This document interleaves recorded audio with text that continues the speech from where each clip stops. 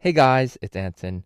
The upcoming modern military drama Ace Troops just announced yesterday, December 14th, 2020, that they have officially wrapped up filming for the series.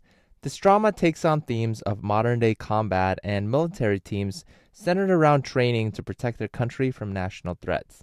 Ace Troops has many big names in their list of cast, including Xiao Zhan, Johnny Huang, Elaine Zhong, and even Bailu. But when the drama's production team recently released a group photo of the Ace Troops film crew and cast, many netizens had to re examine the many faces closely in order to locate Xiao Zhan's whereabouts. It took some time for certain fans to locate the superstar from the Untamed, but when they finally did spot him in the group photo, there was a bit of a small shock due to the change in his appearance. After 115 days of fog and wind, according to the producers, and spending many months in the sun, the normally fair-skinned pop idol Xiao Zhan had lost his usual pale skin tone. Instead, he looks healthier and more fit with his new tanner and more masculine appearance, according to netizens. Indeed, if you compare him to his persona from The Untamed in 2019, there is a definite difference.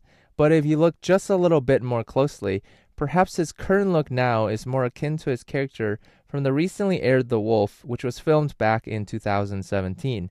You might even say that he is bringing back the handsome bounty hunter prince from The Wolf into the modern day, and wouldn't that be an interesting story to watch?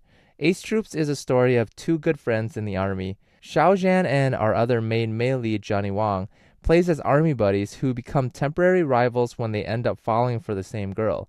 You may remember Johnny from his breakthrough role in 2016's Addicted Heroin, and most recently alongside Dilraba in the modern fashion romance Love Designer.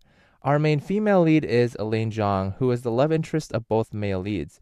She was most recently seen in the movie Wild Grass from this year. Xiao Zhan's character gives up his love for friendship, again, because that just seems to be the Xiao Zhan curse from this year. Elaine marries Johnny's character, and the leads split off for a while to go abroad. And when they all reunite again, the main male leads have to work together to train up a new squadron to become the strongest military team at the headquarters. Ace Troops will be a 40 episode series at around 45 minutes each and will air on iQIYI when it does premiere.